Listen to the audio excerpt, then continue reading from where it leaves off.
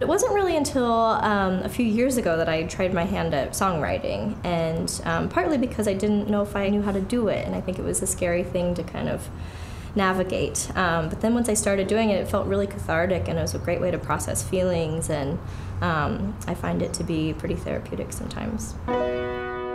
Brownie, my love.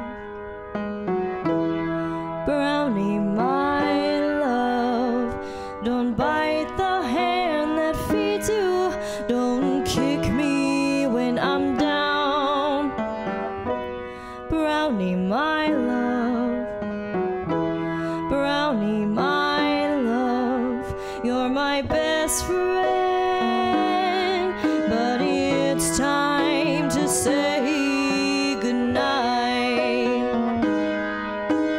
Oh, Brownie, my love. Brownie, my love. It's sad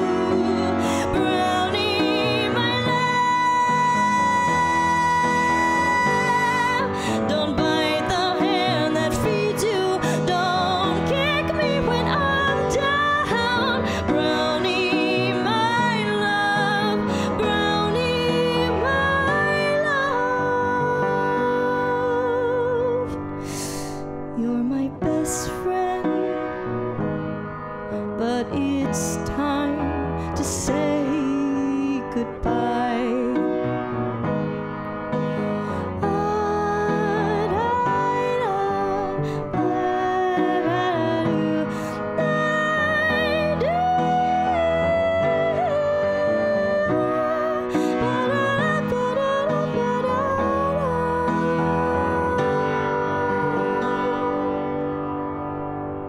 I think writing your own songs makes it makes all the difference. It makes it so important, and um, you're able to perform it with a different sort of amount of being genuine and finding backstories to really emote. And um, I tend to, I mean, this record I've written I think is very theatrical, um, and so to have these backstories that I can connect to as an actor as well on stage, because really all performers are doing a little bit of acting, and um, it makes it feel more genuine because they're stories that feel personal to me.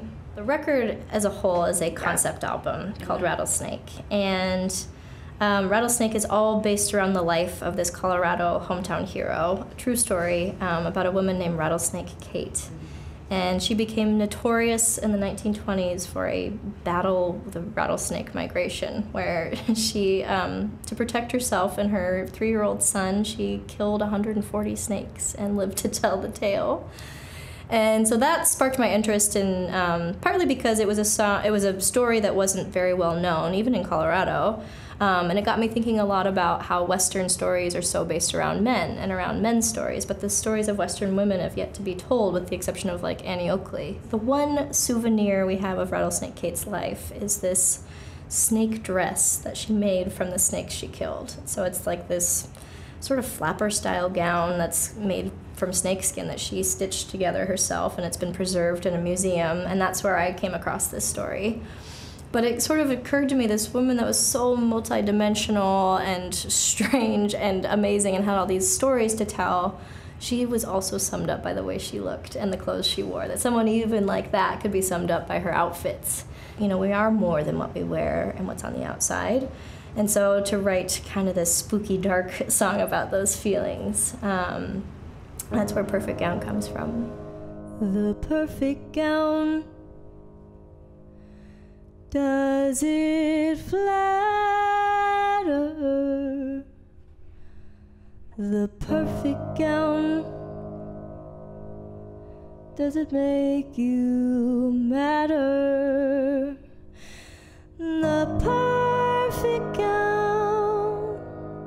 Will it make them take you seriously? The perfect gown, will it be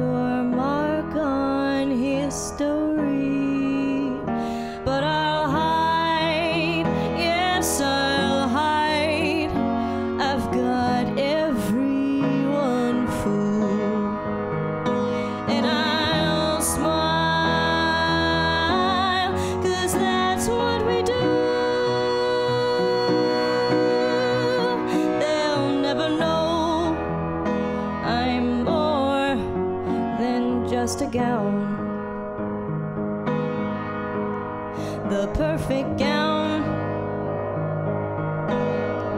is so impressive.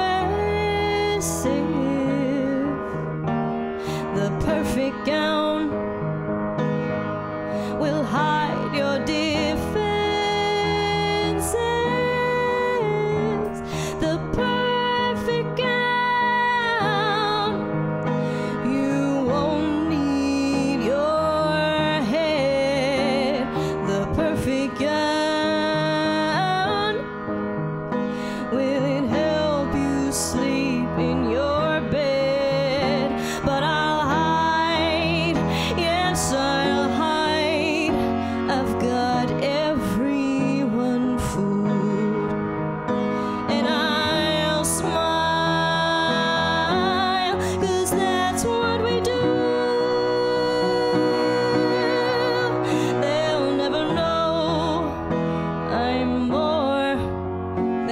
just a gown.